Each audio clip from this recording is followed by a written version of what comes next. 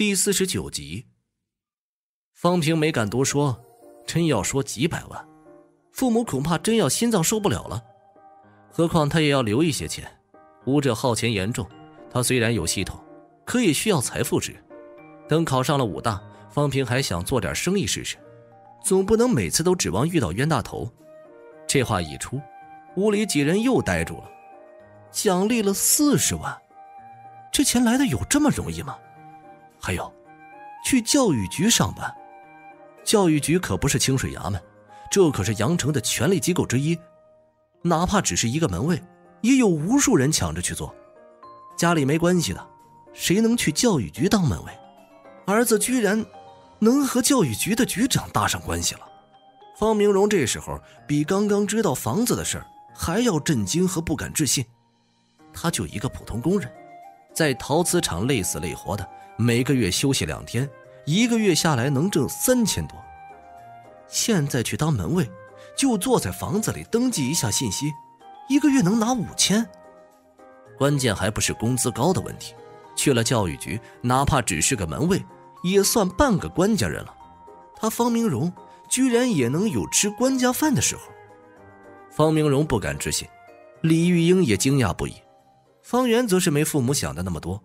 这丫头脑袋里现在想的都是奖励了四十万，好多零食，好多吃的，可以看电影了。一股脑的念头从方圆脑海中涌现。再看方平，那还是方平啊？明明是闪着金光的移动宝库。方平出去短短十天的功夫，谁也没想到会出现这样的变化。好消息太多，父母一时间难以消化。方圆更是兴高采烈的邀请方平明天共进午餐，花光自己的小金库，然后兄妹俩共享方平的小金库。至于两者之间有多大差距，小丫头自动忽略了。这一晚，方明荣夫妇睡得不安稳，两口子一直小声聊到深夜。方圆则是睡得踏实，睡觉的时候脸上都带着甜笑。也不知道做了什么好吗？至于方平，修炼了一遍淬炼法之后，拿起基础腿功翻看了一遍。他准备一品境淬炼下肢骨，腿功更适合他。可战法和功法有些差别，淬炼法不入武者境，主修几条主脉就行；战法则是复杂的多，包括一些发力技巧，这都不是靠本书就能看懂的，没有导师的指点。修炼了也效果不大，方明晚上又打了一次老王的电话，结果还是无法接通，这让方平有些郁闷。这家伙到底去哪儿了？还是说换了手机号码？他认识的人当中，除了王金阳，也没人能给他指点。张勇和他不熟，谭振平则是不修战法。老王是不是知道我气血这么高，受到打击了，所以不接电话？方平心里腹诽几句，只得暂时压下修炼战法的心思。第二天，五月十一号，周日，观湖院。进房子的那一刻，除了方平，全家人都一脸的喜悦和震撼。楼上楼下大大的客厅，阳光明媚的阳台，崭新的装修，在老房子住了几十年，习惯了一楼的阴暗潮湿。陡然间进了新房，哪怕集体装修，其实很一般，在方明荣夫妇看来也是富丽堂皇、华贵无比了。方圆激动的都快疯了，进门就跑到沙发上打起了滚，接着爬起来就往楼上跑。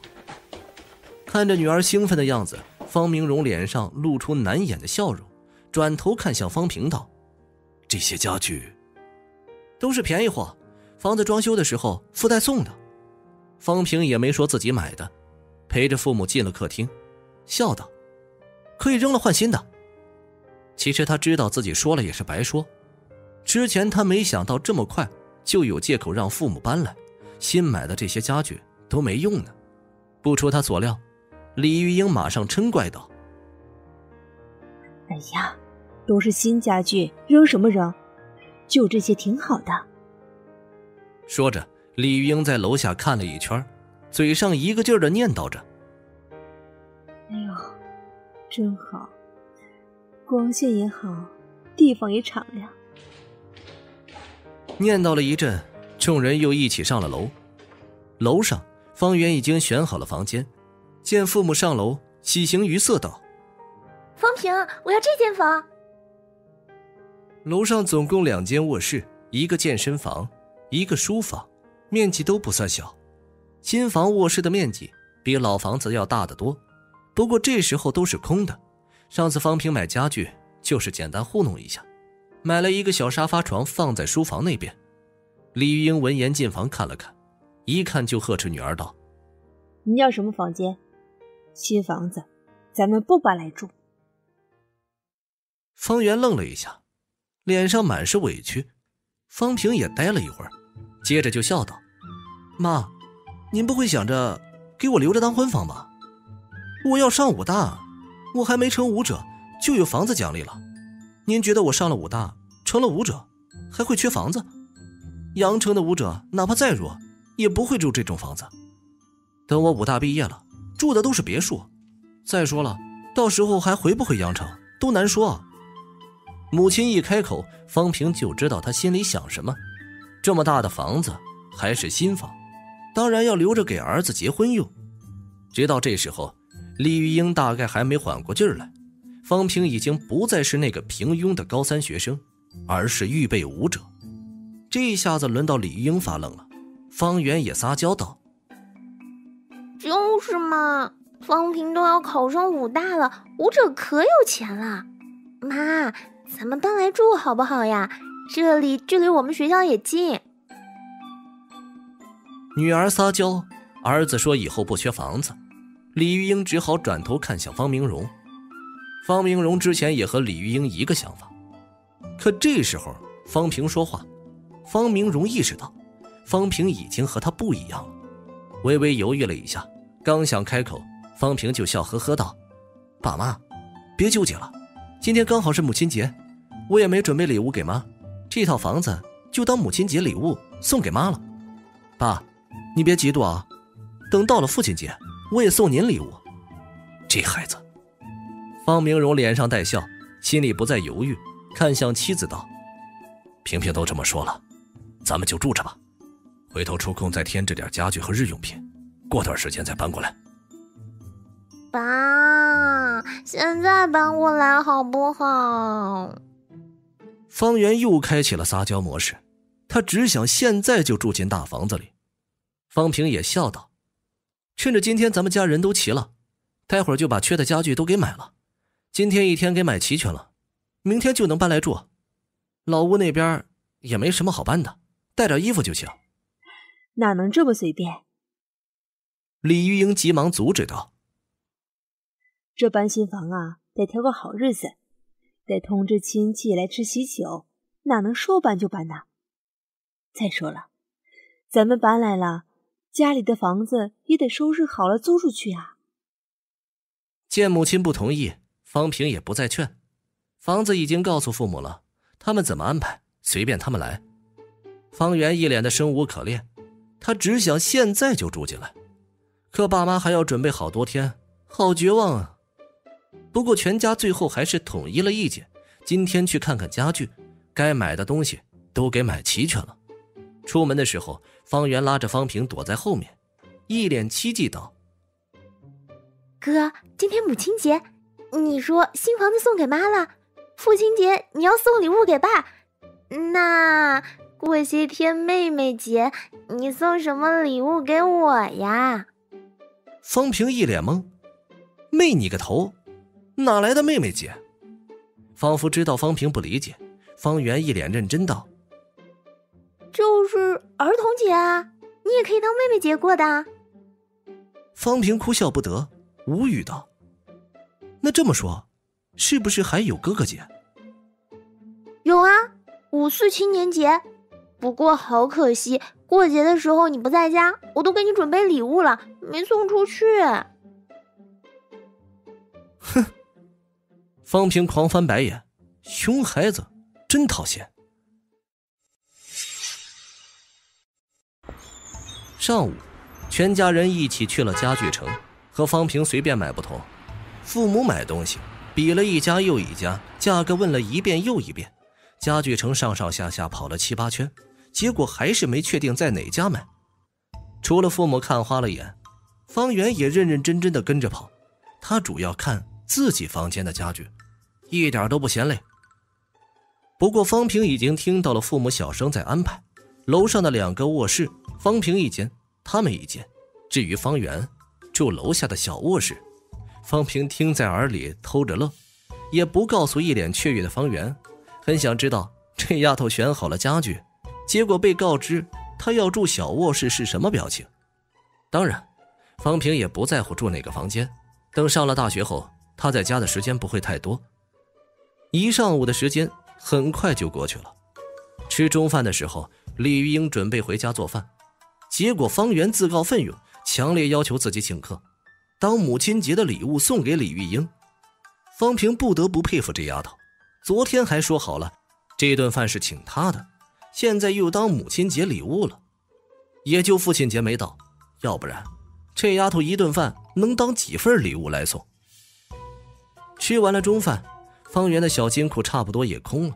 付完账，这丫头可怜兮兮的看着方平，一副以后靠你了的样子，让方平很想把她的脸捏得更圆一点。下午父母还要去看家具，方平则是没陪着，去了一趟银行，又办了一张卡，往里面转了三十万。他自己的卡里还剩下两百万出头，这笔钱方平准备留着，接下来做点生意。他先前的资金来源都是无根之萍，不可能每次都有黄斌和金克明这种冤大头给他送钱。坐吃山空，方平的那点存货未必能用到二品。武者迷费很大，这点方平已经深有体会。王金阳这种人也不得不接任务。出来挣钱给自己购买修炼资源，方平虽然有财富值可以替代，可财富值也需要挣钱才能有。就在方平一家人为新房布置的同时，天南被方平念叨了多天的王金阳拖着疲惫的身子出现在了天南一处军事基地中。此刻的王金阳没有了往日的淡定从容，头发乱糟糟的。衣服也破烂不堪，身上沾着一些干涸的血渍。王金阳身边还有其他人存在。当日从南阳武大出发，五品境的张青南带队，南疆武大导师十六人，学生十一人，加上张青南，总共二十八人的队伍。此刻，零零散散的，或拥坐，或站立，总共不到二十人。干净斯文的张青南，此时浑身污渍。右手耷拉着垂下，眼睛发红的环顾一圈，张青南声音沙哑道：“我们的任务结束了，今晚九大宗师会发起最后的总攻，彻底镇压天南入口的异动。同学们都可以回去了，好好休息一段时间。刘老师，你待会儿带队回学校。青南，你不回去？”被点到名的刘老师急忙问了一句。张青南微微摇头，低声道：“今晚总攻结束，地库入口会被强行关闭，我要带沈泉回来。”道士，王金阳声音沙哑，双眼赤红道：“社长绝不希望您再以身涉险，再入地窖。我知道，我知道您在自责，可这不是您的责任，是我们太过大意，没听您的嘱咐，冒进深入。”害得社长深陷地窖，可现在地窖入口处已经危险万分，您不是宗师，再进去。张青南沉声道：“不用再说了，我是南疆武大此次任务的总负责人，没能照顾好你们是我的责任。来的时候二十八人，现在要走，哪怕已经牺牲，我也要带着大家一起走。”导师，青南。张青南脸色一肃，轻喝道：“刘老师，现在你带队回校，等我找到了沈泉，马上就回校。”王老师他们。张青南狠狠咬了咬牙，声音悲泣道：“安排好他们的后事，替我和他们的家人说声对不起。刘老师双手握拳，深深看了张青南一眼，接着就沉声道：“我们走。”老师，走，回去。事情已经超出我们的能力范围，留在这儿于事无补。送王老师他们回家。刘老师不再犹豫，转身就上了车。见其他人还站着，顿时喝道：“上车！难道你们想留在这儿断了武大的根基？等我们有了实力，再来报仇。我们若成宗师，重启此门，血债血偿，好过现在送死。”王金阳咬紧牙关，身体站立，片刻后厉声道：“走！此地已经非他们能留，只有等到突破宗师，才有希望回来报仇雪恨。”伴随着王金阳迈步，武道社众人纷纷跟上。王金阳转头看了一眼张青南，大声道：“导师，我在学校等你，你若不回来，我就娶了你女儿。”混小子，你你才十岁，信不信我打断你的腿？张青南笑骂一声，左手挥动道：“走吧，等我找到了沈泉，和他一起回校。”众人不再言语，汽车缓缓启动。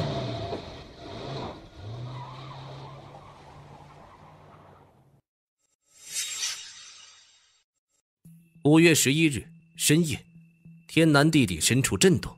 有宗师前往镇压。当夜，方平并未察觉到异常，直到天亮去了学校，才从同学们的议论中知道了消息。因为有宗师提前预警，群众撤离及时，并未造成普通群众大量伤亡，只有少数一些人舍不得离家，受到了波及。尽管人员伤亡不多，可财产损失惨重。这事方平没太当回事不过隐隐察觉到。各地氛围紧张了不少，武者不多的阳城，方平都在路上遇到过陌生武者出没，这可不是正常现象。直到南疆总督带队回归，这种紧张的氛围才渐渐缓和了下来。